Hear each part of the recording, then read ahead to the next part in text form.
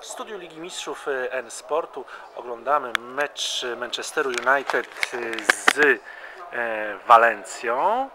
1-1 jest w tym momencie 9 minut do końca, a oglądam go y, z trenerem Michałem Probierzem, trenerem roku 2010 w plebiscycie piłki nożnej i e, trenerem lidera e, ekstraklasy, mistrza e, jesieni. Zastanawiałem się, czy tej nagrody dla, dla trenera roku 2010 nie powinien dostać Jacek Zieliński za Mistrzostwo Polski po tylu latach z Lechem Poznań, ale jak mówi już przysłowie, w Polsce mężczyzny nie poznajemy po tym jak zaczyna, ale po tym jak kończy, a Jackowi Zielińskiemu nie dano e, dokończyć tej przygody z Lechem. E, Te, te, te, te, te, ten największy splendor wygranych meczów z Manchesterem City remisu i awansu z grupy śmierci em, e, zgarnął jego następca Jose Bakero. A pana trenera chciałem zapytać, ponieważ oglądamy tutaj europejski futbol, gdyby to pan miał głosować w plebiscycie na złotą piłkę, e, to komu pan ją wręczył za 2010 rok? E, Trzech piłkarzy Barcelony, Xabi, Iniesta i,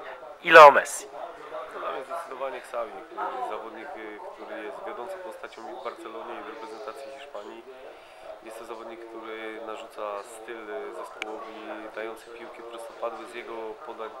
Profituje Messi i, i rzeczywiście jest to dla mnie taka postać bardzo dobra, nawet czytając wywiady na jego temat, że jest to osoba bardzo skromna, osoba, która identyfikuje się z klubem i moim zdaniem ja bym przyznał dla niego tą piłkę.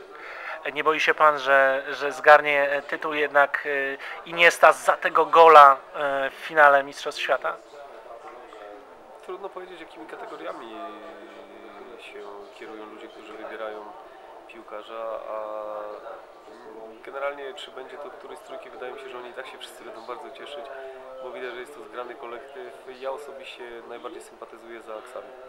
A nie dziwi Pana, że w tej trójce najlepszych znalazł się Messi? Czy nie bardziej zasługiwałby e, e, Wesley Snyder, wicemistrz świata, no i, no i ten, który był kluczowym piłkarzem Interu w, zdobyciu tej potrójnej korony? No zgadzam się, że rzeczywiście jest to tak, że powinien być, bo, bo był to je, chyba jeden z e, nielicznych zawodników, który mógł zdobyć, zdobyć wszystko w danym roku, bo i Ligę Mistrzów i e, Super Puchar Włoch i mógł też zgarnąć e, jeszcze na dodatek e, z reprezentacją Mistrzostw Świata i to mu się jedyne nie udało i na pewno był też jednym z kandydatów. To gratulując e, tak, udanego, tak udanej rundy,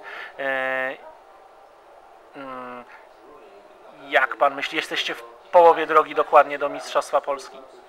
Jesteśmy i to daleka droga, zdajemy sobie sprawę z tego, że presja na nas będzie bardzo duża, ale na pewno się nie poddamy i zrobimy wszystko, żeby te rozgrywki były ciekawe i dla mnie jest jeszcze fajniej, że za nami jest Legia Wisła, że nikt nie będzie mówił, że my tam przypadkowo zdobyliśmy, tylko chcielibyśmy właśnie te zespoły wyprzedzić.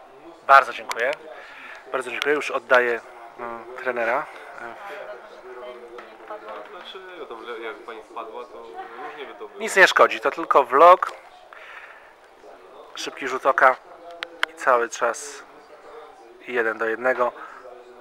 Tomasz Kuszczak niestety tylko na ławce rezerwowych w bramce Benamos.